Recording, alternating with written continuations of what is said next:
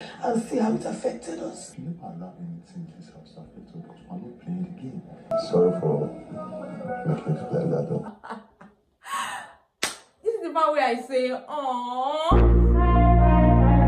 I have two major things to tell you today. Major. First of all, Zinwe, that's Chinwe, and Zion are back together. Secondly, people are already fighting in the house. Hi guys, welcome to another episode of Lucy's Quick One. Ladies and gentlemen, ah, yesterday was fire.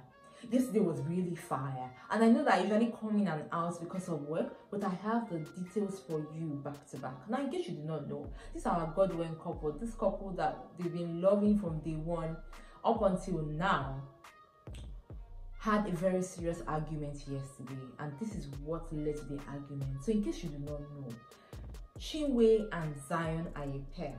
And yesterday they had the argument about the fact that Chinwe was being accused of being the difficult one amongst the both of them, being the rigid one, the one who does not want to like socialize with other people, who just thinks of herself as the high and mighty, who just thinks of herself as proud, while Zion is like the calm one. So she was hearing discussions and accusations to that effect. That's one. Then secondly, Chinwe was pissed because you know it felt like some ladies have started making advances at a man who is Zion and he's, he's kind of like condoning the whole thing. And then this turned into a very serious thing. So by the time Zion goes to talk to Chinwe, who formed the Zinwe pair, about what actually what's going on, why are you upset, why are you angry, she like blows up.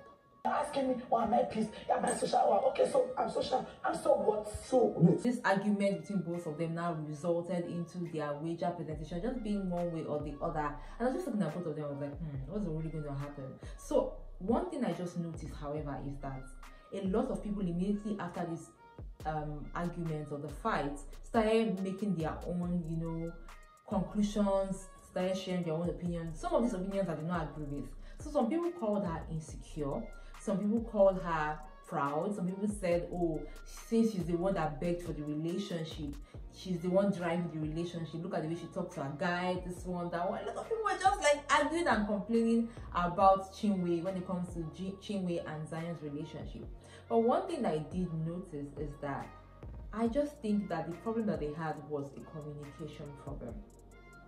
And that was what caused this whole thing. You know, when it comes to relationships, I am no expert, but one thing I know is that one of the things that keeps the both parties together is communication. You already know how this guy likes to be talked to. You already know what happens with this girl sometimes when she's seen certain things happen. So why don't you just communicate?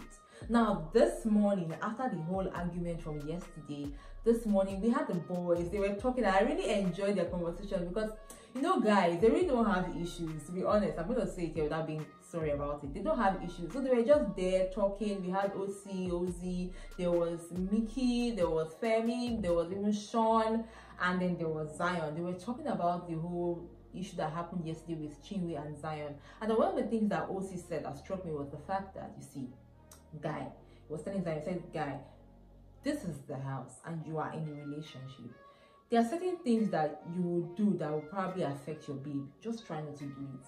Now, probably Nelly was touching you and you were like, oh, you have talent and all of that.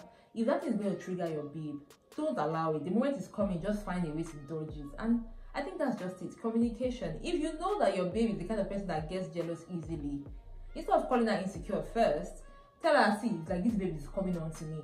In the case of Kellyrae and Kassia, you can see that at some point Kassia was already giving Kellyrae gist about Toby just to forestall any form of problem. You know, when they're on their own, they just she'll just give that look at what he said today, look at what he said yesterday, look at what he's saying tomorrow, all those kind of things. So if you know that this is the kind of babe that you are with, communicate and say, babe, this and that is happening. Well, ladies and gentlemen, that's not even the thing. So right now, they are no longer fighting, which is what makes me happy because at the end of the day, Zion walks up to Chinwe and they have a conversation.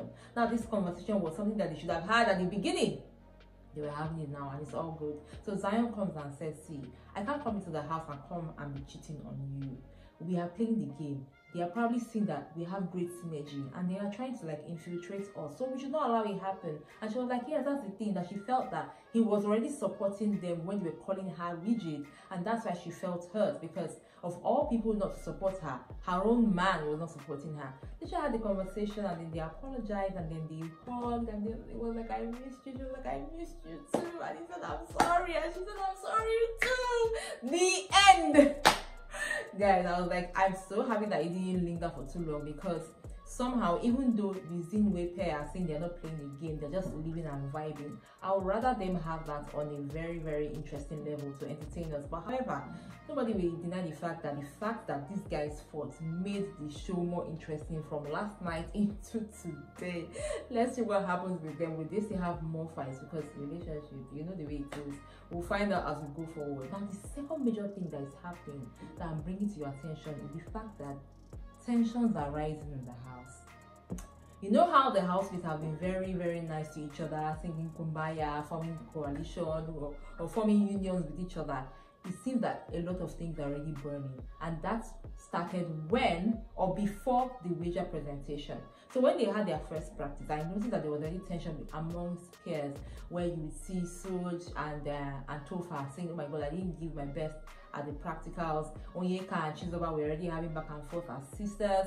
You can see small, small, small tension and the fact that they were not starting to remember that they are in a competition. Now, going on onto the wager presentation, which at the end of the day they lost their wager, made tensions to increase. And one of the major things that causes fights in the house is always food.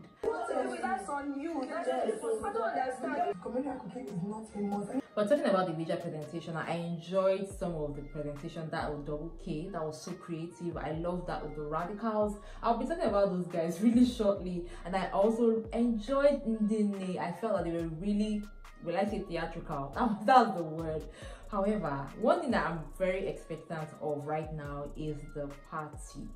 The reason I'm expectant about the party is because a lot of people are waiting for certain things to unveil, both the housemates and with the audience. For the housemates, they really want to see what is going on between Kassia and Kellyrae that formed the pair double K. Can you imagine that this morning, even Shaun was asking Kassia, like, what's going on? Like, what happened with your relationship? Like you were dating before. How long have you been single? Oh, I can't find this. I need to find out this story.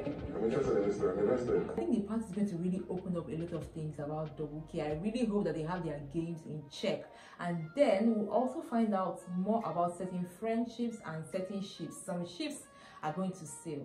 However, remember that it's a game. So I'm looking forward to the friendship or ship of Ben and Chizoba. And in case you have not noticed, there is a communication between Mayor and Rosie. Like this morning, they were having a conversation, and you could see that Mayor was like, "What do you actually want from this friendship?" He's like, "Ah, Rosie is like, I'm just here to enjoy myself," and he's like.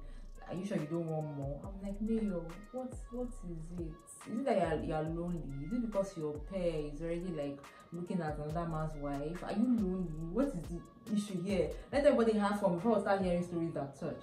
And the last but not the least, friendship or relationship I'm looking forward to right now is that of Femi and Victoria.